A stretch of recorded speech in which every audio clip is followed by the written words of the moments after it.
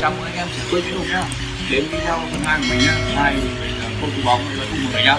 Thì lắp ngồi lắp sao cho nó hoàn thiện những cái diều nhá. Để cho gió thảm đấy nhá.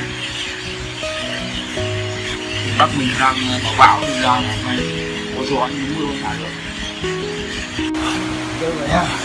Đây mình ngay khâu bằng dù rồi nhé, chín trên bốn nhé đây đây cái bóng này.